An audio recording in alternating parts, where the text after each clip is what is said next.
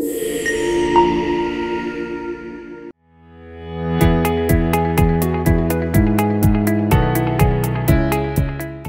everyone. Uh, my name is Stephen. Uh, I'm a lecturer and convener for the Social and Geographic Data Science Master's course. So um, there's an ever-growing national and international demand for qualified professionals and scientists who have data scientists, uh, data science expertise in solving crucial social and geographical problems.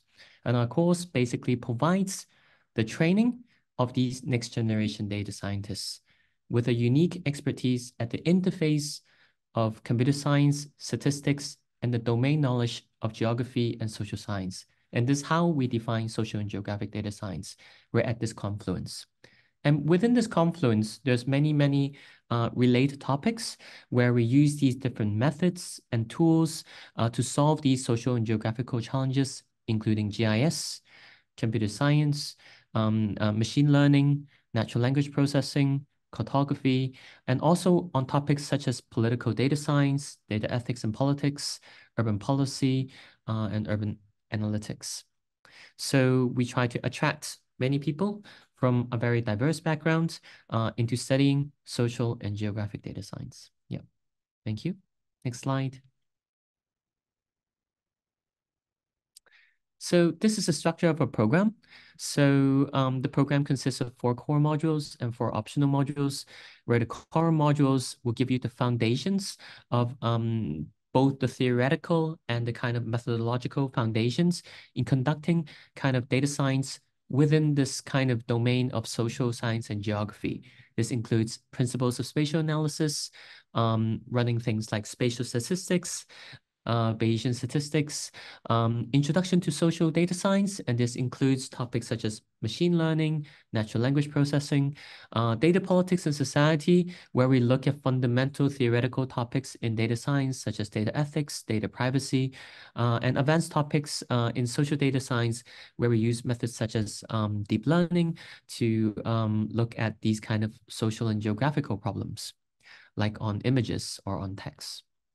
So after these kind of fundamental kind of core modules, the students in the second term would have a lot of uh, opportunities to um, take other modules. Uh, uh, one thing I, I wanted to mention, in the core modules, you'll learn two programming languages, namely R and Python, and three of the modules would be practicing these programming languages for use uh, in the optional modules. So in the optional modules, as you see, there are some that is like fundamental to our group, like urban policy, uh, cartography and data visualization, mining and social geographic data sets, and, G and GI systems and science, but we also have a number of different modules, both within the department, such as environmental GIS, and specifically uh, a number of modules on remote sensing because it's closely linked, uh, as well as other um, modules in climate change uh, and other modules uh, beyond uh, the Department of, of Geography, uh, such as with CASA on remotely sensing cities and digital public health. Next.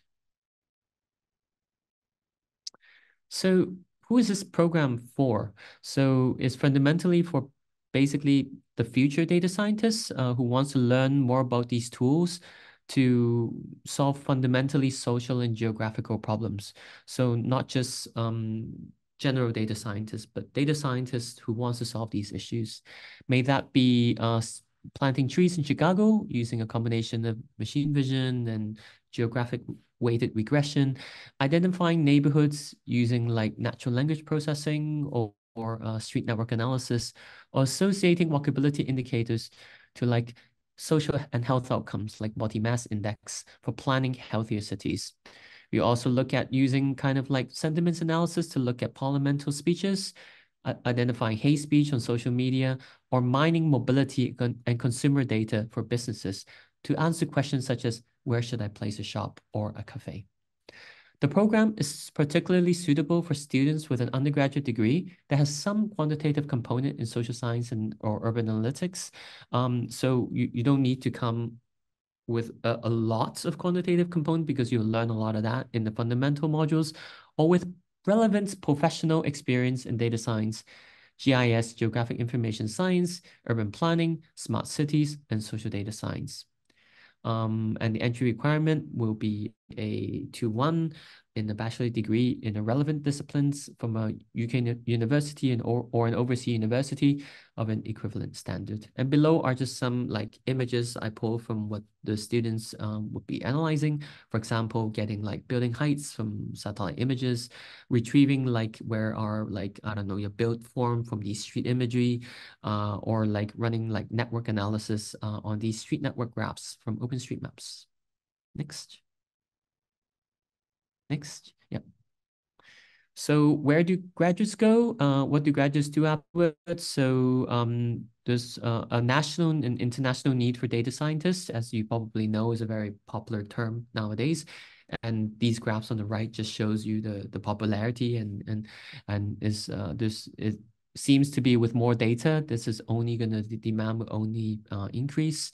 Um, so primarily, most students went on to get jobs in data scientists, uh, data science, data analysts, or as a geospatial analyst, uh, as urban planner and urban designer who are now more and more equipped with these skills, or consultants, or as researchers. And they work primarily in in sectors and private sectors such as um, Arup or Huawei or Deloitte or Zoopla, which are like real estate and uh, IT and transport planning companies, uh, or movement strategies would look at looking at mobility data or these like large consultancy like KPMG or architecture companies like Fosters and Partners.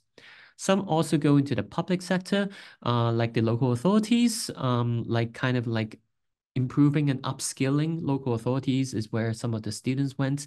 For example, maybe previously they were using Excel, but now they're using a lot more data science pipeline to solve some of these issues uh, using Python or R. Uh, some went to OECD to look at like um, uh, um, kind of uh, inequality in, in, in, in, in terms of um, productivity and so forth. And there's also an academic institutes. Some went on to do PhD studies, both within UCL or other universities overseas like Peking U. Uh, some went to the Consumer Data Research Center, which is kind of fundamentally linked uh, with our program, uh, and the Alan Turing Institute, which is a National Institute of Data Science and AI in the country. Thank you. Next. Yeah, and if you're interested, please take a look at our link. And for like kind of logistic application question, please email geography the office.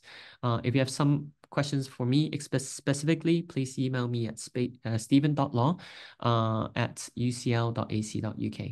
Thank you.